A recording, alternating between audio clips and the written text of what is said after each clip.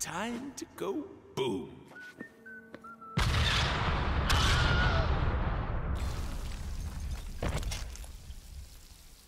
Phew! That's what happens when you mix C4 with a bean burrito. Now be honest. I'm not the only one with a little bit of shit in their pants right now, am I?